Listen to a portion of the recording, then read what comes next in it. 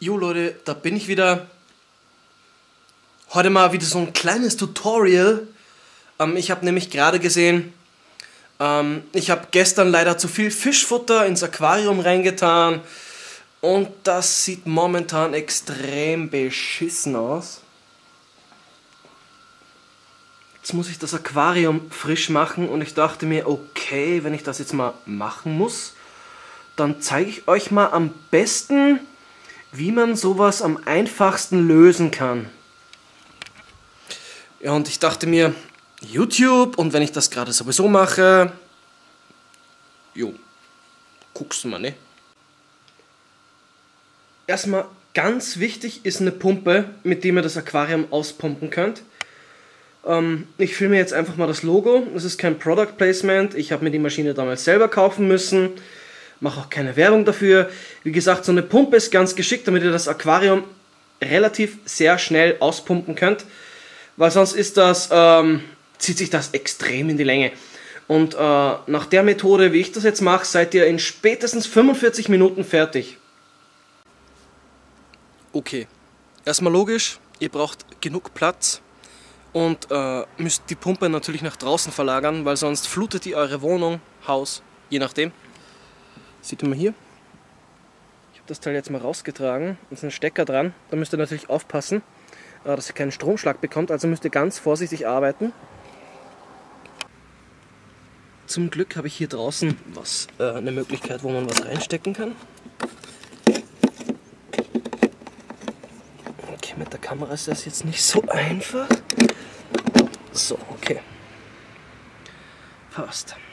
Dann packt ihr das Kabel jetzt am besten einfach mal sicherheitshalber hier an und die Stromversorgung erstmal so weit wie möglich von diesem Gerät weg. Dann habe ich hier noch diverse Schläuche. Da habe ich mal den ganz den kurzen Schlauch. Ich hoffe, ich erwische den richtigen. Ähm, genau. Das ist der. Genau. Wie gesagt, ähm, der kurze Schlauch, der kommt an diesem Gerät an die Seite ran. Das ist ganz wichtig. Es hat mir am Anfang lange gedauert, bis ich das herausgefunden hatte. Den packt ihr bei diesem Gerät außen an und verlagert den Schlauch in die Wiese. Natürlich ganz wichtig, ah, verdammte Züge, ähm, dass das Wasser, das austretende Wasser nicht in den Stromkreis kommt, damit ihr keinen Schlag bekommt und euch das Ding nicht um die Ohren fliegt. Dann jetzt kommt der lange Schlauch. Den steckt ihr dann hier ran. Mit einer Hand ist das ziemlich tricky. Scheiße. Moment. Okay, wie gesagt, den langen Schlauch. Da ist am Ende so ein Teil dran. Mit dem tut er das Wasser dann auslassen. Den Schlauch nehme ich jetzt mal und tue den in die Wohnung. Das ist leider Gottes etwas vermurkst, aber Prinzip funktioniert das. Tut mir leid für die äh, verwackelte Kameraform.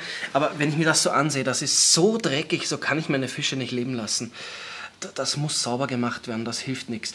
Okay, was auch ganz wichtig ist, mal alle elektronischen Geräte ausschalten, vielleicht bis aufs Licht, aber äh, dass ihr keinen Schlag bekommt. Damit die Pumpe auch richtig funktioniert, braucht ihr mal so einen guten Liter Wasser in so einer, ich habe hier jetzt so eine, so eine weiße äh, Kanne damit die Sogwirkung auch richtig zur Geltung kommt, leert ihr das dann einfach da mal rein.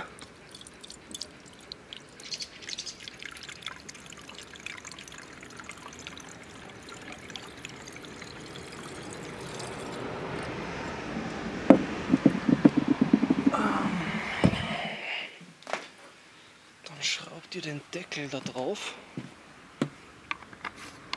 Und sollte das eigentlich jetzt funktionieren. Da ist an der Seite hier so ein Kippschalter.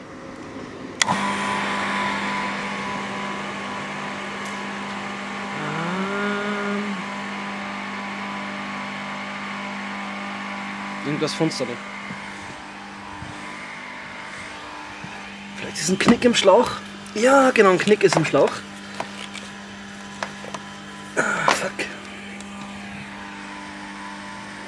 Funktioniert das nicht. Ich glaube, da muss ich noch mehr Wasser in die Pumpe rein lassen, weil sonst funktioniert das nicht. Also ich habe jetzt nochmal die doppelte Ladung reingeleert und jetzt funktioniert das. Wie ihr hier sehen könnt, kommt das Wasser jetzt raus aus dem Aquarium.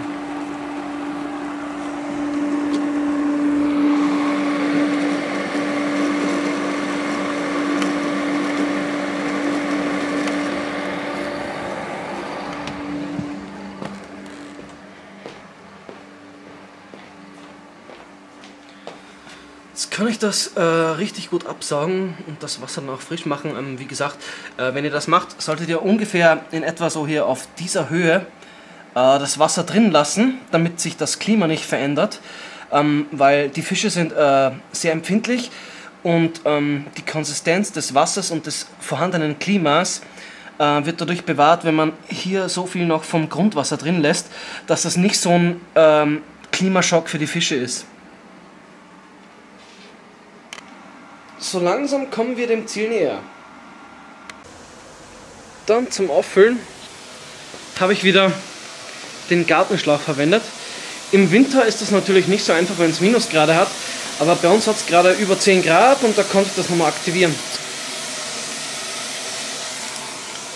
Wie gesagt, und wenn ihr das beachtet, könnt ihr innerhalb von 45 Minuten ein Aquarium komplett alleine frisch machen. Und das sieht dann wieder richtig geil aus.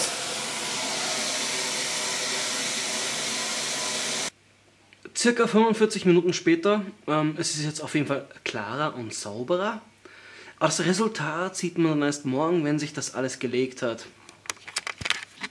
Ciao!